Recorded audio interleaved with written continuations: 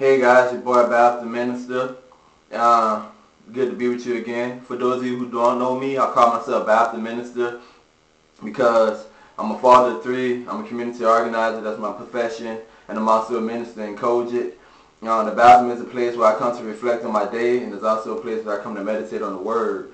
And I do these video blogs to just give you guys an inside peek of um, a Christian life. And, and, just because we are Christians um, do not mean that we do not have daily struggles. And so one of the things I do is um, I try to share with you guys out there how we how we should overcome through the Word. Um, today I want to pose a question to you guys, and the question is, who is right?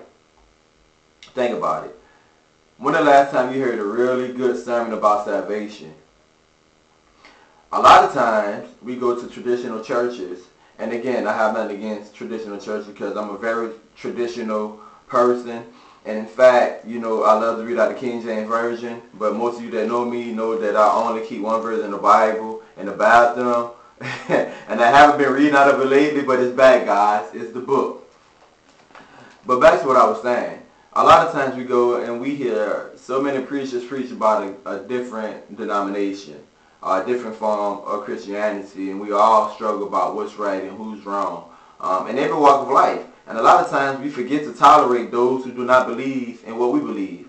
So let's get into the word. St. John, the first chapter, beginning at the first verse. And that's where we're going to come from. In the beginning, the word already existed. He was with God, and he was God. He was in the beginning with God. He created everything. There is nothing exists that he did not make. Life itself was in him, and this life gives light to everyone. The light shines through the darkness, and the darkness can never extinguish it. God sent John the Baptist to tell everyone about the light so that everyone might believe because of his testimony. John himself was not the light. He was only a witness to the light. The one who is the true light, who gives light to everyone, was going to come into the world. Now we know that Jesus came into the world and that's what John referring to, that Jesus came to give light to everyone. I believe that no one is right.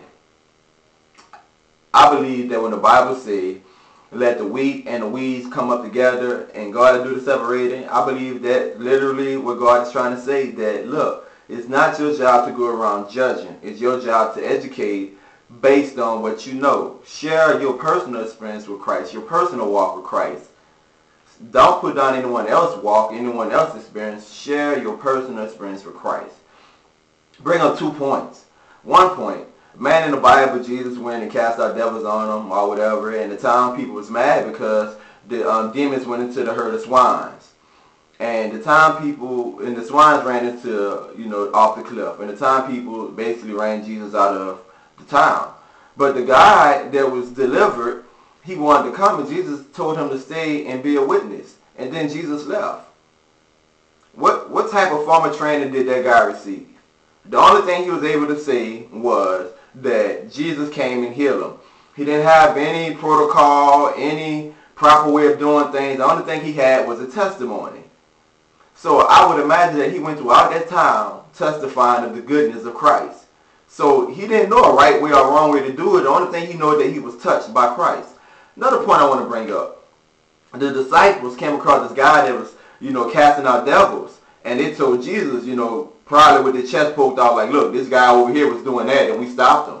And Jesus was like, well, who name? What's he doing in it? Like, he was doing it in your name. And Christ was like, well, forbid him not. Forbid him not. He's doing it in my name. He's working for the kingdom, just like you working for the kingdom. The disciples had a problem because they probably figured he wasn't doing it the same way they was doing it. But Christ said, if you're doing it in my name, forbid him not. I'm suggesting today that we must tolerate. Think about this. Every one of you out there. When did you get saved? Did you get saved at the age of 12? At the age of 9? Did you get saved at the age of 30? Did you get saved at the age of 40? The age of 50? That means Christ waited 9, 12, 30, 40, or 50 years. He was patient and long-suffering enough until you came to him. So why can't we tolerate those who have not yet seen the light Or why can't we tolerate those who do not agree with what we with what we believe? of what we teach. We must tolerate. Think about this in closing. If Christ would have took the same attitude that some of us as Christians take, of that I don't want to be bothered with those people, I don't want to go in the midst of those people because they don't believe, then would he have came to the world? He came to the world simply because we didn't believe, and he went amongst the sinners. Let us pray. Gracious Heavenly Father, we come to you in the name of your darling Son, Jesus Christ. Father God, we ask that you teach us to be, Father God, more patient and long-suffering, Father God. We ask that you help us to tolerate those who do not believe what we believe. Father God, let us exhibit your love, Father God. Father God, just let us, Father God, continue in our faith walk. Let us strengthen our own personal testimonies and share with the world, Father God. We ask that you bring the body of believers together, Father God, as it will be, Father God, in the New Jerusalem. In your Son's name we pray. Jesus Christ. Amen. Hey guys, remember to hit me up at Baptist. Um, remember to hit Bathroom Minister up on YouTube. Also, um, you know, you can email me at dbogen at charterinternet.com. dbogen charterinternet.com. That's D-B-O-G-E-N at charterinternet.com. I forgot to spell my name. And also you can start watching my um, video blogs on um, the website Living in Black and White. You know, I begin to post them up there. It's a lovely Christian family network. Guys, you got to check it out also. Thank you. Be blessed.